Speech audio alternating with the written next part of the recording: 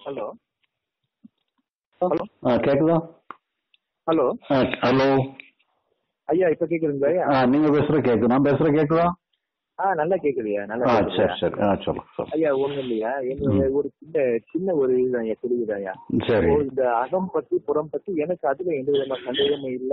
சரி. நீங்க சொன்ன முறையும் அதை நான் இது பண்ணும்போது நல்ல தெளிவாதாங்க. என்னுடைய சந்தேகம் என்னன்னாக்க ஒரு சாதாரண ஒரு சந்தேகம் தாயா அது.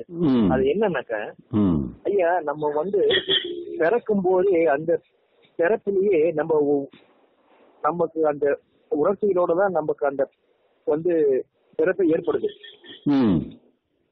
அது உண்மைதானே? அது இல்ல அது உணர்ச்சி வராது. உணர்ச்சிக்கு காரணமான அம்சம்லாம் நம்மகிட்ட இருக்கும். ஆனா உணர்ச்சிகள்லாம் ஏற்படாது.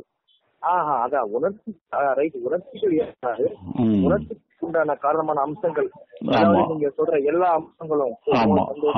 எல்லா அம்சங்களும். அதுக்கு அதோட சேர்ந்து நம்ம வந்து பிறக்கிறது. ஆமா. அது போது நமக்கு உள்ளடங்கி இருக்கு. எல்லாமே இருக்கு எல்லாமே இருக்கு எல்லாமே இருக்கு. எல்லாமே இருக்கு. ஸோ அது வந்து. ஒரு நாளடைவுல நமக்கு வந்து அறிவு ரீதியா விரிவாகும் போதுதான் இதனுடைய செயல்பாடுகளை செயல்பட வந்து தேவைக்கேற்ற மாதிரி செயல்பாடுகள் தொடங்க ஆரம்பிக்குது ஆமா.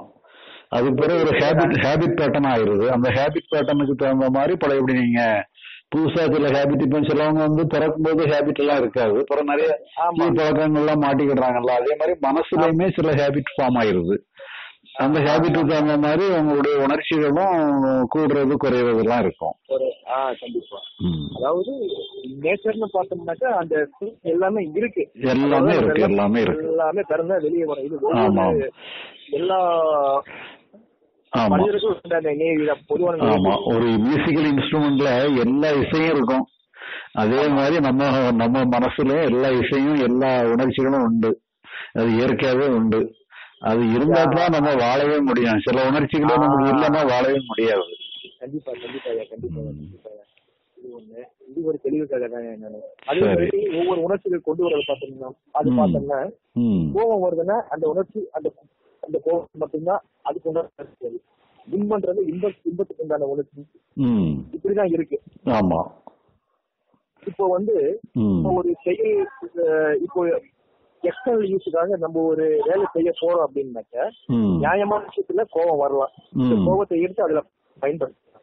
அஹ் இல்ல அதாவது அதாவது நீங்க கோபம் உங்களுக்கு உங்களுக்கு நியாயமோ நியாயம் இல்லையோ முதல்ல உங்களுடைய மன உங்க இயல்புக்கு தகுந்த மாதிரி உங்களோட ஹேபிட் பேட்டர்னுக்கு தகுந்த மாதிரி உங்களை அறியாம கோபம் வந்துரும்.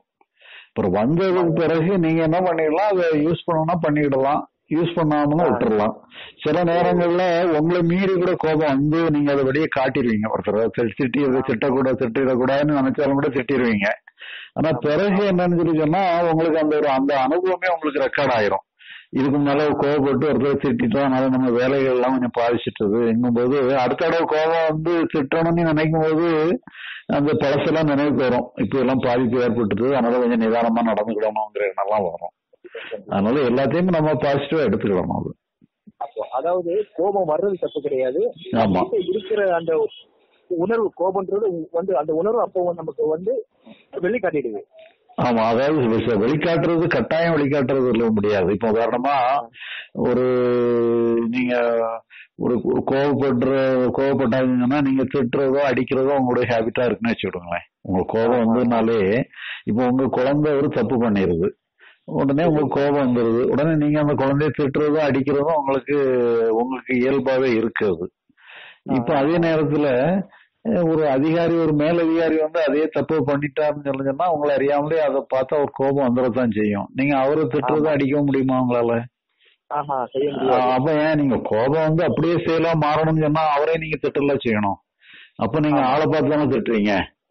அப்போ கோபம் வந்து கோபம் வந்து திட்டல. நீங்க தான் திட்டுறீங்களே கோபம் வந்து திட்டல. கோபம் வந்து திட்டுதுன்னு சொன்னா அது ஆளை பார்க்காது. கோபம் எப்போ எப்ப வந்தாலும் கோபம் அது ஒரு செயலா மாறிடும் ஆனா கோபம் எல்லாம் செயலா மாறலங்கும் போது இடையில நீங்க இருந்து அதை ஆப்ரேட் பண்றீங்கன்னு அர்த்தம்.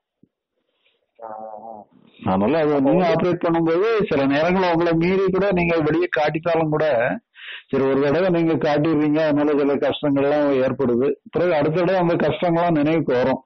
கோபம் வரும்போது நீங்க காட்டணும்னு நினைக்கும் போது இப்ப ஏற்கனவே வெளியே காட்டுறதுனால ஏற்படுற கஷ்டங்கள்லாம் வந்தது உங்களுக்கு நினைவுக்கு வந்ததுனால நீங்க அது கொஞ்சம் அதை வேண்டான்னுட்டு முடிவு பண்ணலாம். நீங்க வேண்டான்னு முடிவு பண்ணீங்கன்னா கோபம் விட்டு போயிடும். அடக்கணும் அடக்கணும்னு அவசியம் இல்ல. வேண்டான்னு முடிவு பண்ணாலே போயிடும். அது அதாவது கோபம் சந்தோஷம் இதெல்லாம் பொதுவான ஒரு வந்து உணர்வு அப்படின்றது அதை அண்டர்ஸ்டாண்ட் பண்ணிட்டாவே போதும். போதும் போதும் போதும். போதும். அதே மாதிரி எக்ஸ்டர்னல் யூஸ்ல நமக்கு ஆமா. தேவைப்பட்ட ஒரு செயலுக்கு நல்ல விதமா செய்யணும் அப்படின்னாக்கா அந்த கோபத்தை வந்து பயன்படுத்தலாம். ஆமா இப்ப நீங்க ஒரு போலீஸ் ஆபீசரா இருக்கிறீங்க. ஒரு கைதிகிட்ட உண்மையை வர- வரவழைக்கணும். நீங்க அவனுக்கு கோவப்பட்டு ரெண்டு திட்டி ரெண்டு விதை கொடுத்தா தான் அவன் உண்மையை சொல்லுவான். அப்போ அந்த நேரத்துல நீங்க அது உங்களுக்கு உங்களுக்கு ரைட் இருக்கு. நீங்க அவனை உதைக்கிறதும் அவனை வந்து மிரட்டுறதும் உங்களுக்கு உரிமை இருக்கு. ஏன்னா உங்க கடமை அது. உங்க கடமையை நீங்க செய்யறதுக்கு நீங்க அது தப்பு கிடையாது அது. ஐயா இப்போ வந்து அதே மாதிரி ஐயா இப்போ அந்த கோபம் இருக்கு பாத்தீங்களா ம். இப்போ சில பேர் நமக்கு தேவையில்லாத ஒரு கோபத்தை கூட வந்து உண்டு பண்ணுவாங்க. அப்- அப்படி இருக்கும்போது நமக்கு இவங்க தேவையில்லாத கோபத்தை தான் உண்டு பண்றாங்க. இந்த கோபத்தோட தன்மை நமக்கு வந்து கோவப்படுத்த வந்து கோவப்படுத்துறாங்க அப்படின்றது அந்த. தன்மையை நம்ம அண்டர்ஸ்டாண்ட் பண்ணிட்டோம் அப்படின்னாக்கா அந்த இடத்துல அந்த கோபம் இருக்காது. ஆமா அது வந்து என்னன்னா நீங்க புற உலகத்தை வந்து நீங்க ஏதாவது ஒரு பாலிசி வச்சுக்கணும் இப்ப புற உலகம் செயல்கள் பாத்தீங்களா? செயல்கள் வந்து இயற்கையானது இல்ல. நம்ம மனசுல ஏற்படுறதெல்லாம் இயற்கையானது. ஆனா புற உலக செயல்கள் எல்லாம் இயற்கையானது இல்ல அது செயற்கையானது.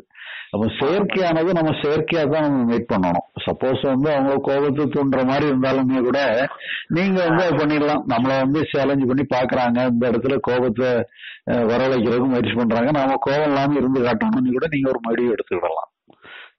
முடிவு எடுத்துட்டு கூட நீங்க கோபத்தை நீங்க ஏதோ ஒரு வகையில நீங்க உங்களை நீங்களே அந்த கோபத்தை காட்டணும்னு அவசியம் இல்லை. ஏன்னா அது வந்து அது வந்து உண்மையிலே கோபப்பட வேண்டிய அவசியம் இல்லை. ஆனா இருந்தாலும் உங்களை கோபத்தை வரவழைக்கிறவங்க எல்லாம் சூழ்நிலையில முயற்சி நட பண்றாங்கன்னு சொன்னா சரி உங்களை ஒரு ஏதோ ஒரு சேலஞ்சா எடுத்துக்கிடலாம் சரி இந்த சூழ்நிலையில நாம கோபம் இல்லாம இருந்து காட்டுறதுதான் கரெக்ட் நீட்டு சொல்லி கூட நீங்க எடுத்துக்கலாம் அந்த தாட் வரும்போது அத- அதாவது அந்த மாதிரி நமக்கு இது இது வந்து ஏற்படும் போது கோபம் வந்து கோபம் வந்து அது வந்து நேச்சர் தான். இது கோபத்தோட தன்மை என்ன? அது கோபம் மட்டும் தான் படுத்த முடியும் அவ்வளவுதான். ஆமா. அதனால அதனால யூஸ் ஒண்ணும் கிடையாது. அப்ப- அப்படின்னு கூட நம்பி அப்படின்னு கூட நம்ம வந்து இல்ல அதுலயுமே கூட அவங்க வந்து உங்களை வந்து கோவப்படுத்துறதுக்கு முயற்சி பண்றாங்க. உண்மையில கோவமே தேவையில்ல. ஆனா இருந்தாலும் கோவப்படுறாங்க முயற்சி பண்றாங்கன்னு சொல்லி நினைச்சிட்டீங்கன்னாலே உங்களுக்கு உங்களுக்கு கோபம் கூட வராம போயிடும் ஏன்னா அவங்க வந்து அவங்க வந்து முட்டாள்தனமா செய்யறாங்கும் போது நீங்க அதை கண்டு இது பண்ண மாட்டீங்களா இப்போ ஒருத்தன் வந்து ஒரு ஒருத்தன் வந்து உங்களை திட்டுனான்னா உங்களுக்கு வருத்தம் வரும். இவன் திட்டுறவன் வந்து ஒரு பைத்தியக்காரனா இருந்தான்னா உங்களுக்கு வருத்தம் வராது பார்த்தீங்களா சரி அவன் பைத்தியக்காரத்தனமா ஏதோ பண்றான்னுட்டு நீங்க போயிருவீங்க. அதே மாதிரி வந்து உங்களை கோவப்படுத்தணும்னு சொல்லி தேவையில்லாம கோவப்படுத்தணும்னு முயற்சி பண்ணாங்கன்னா சரி ஏதோ பைத்தியக்காரத்தனமா செய்யறாங்கன்னு நினைச்சிட்டு நீங்க விட்டுட்டான்னா அது பாட்டுக்கு போயிடும் கோவமே